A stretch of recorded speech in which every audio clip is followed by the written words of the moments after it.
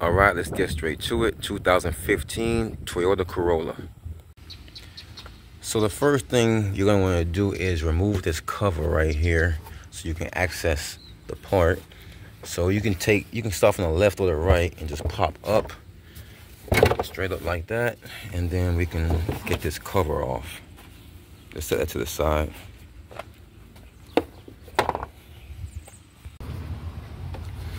So once your cover is off, you can see the ignition coils really, really clearly.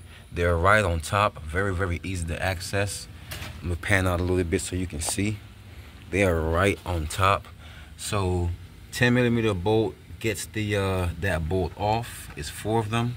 And remove those harnesses. You should be able to pull those ignition coils up with no problem. Very, very easy job.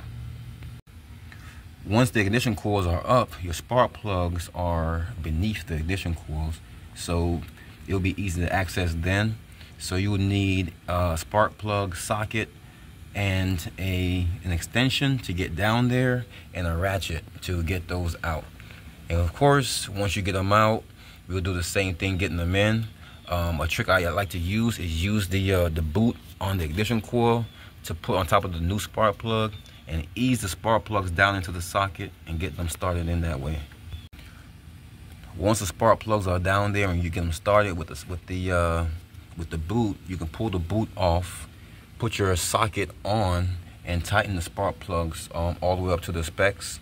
And then of course, get your ignition coils back on.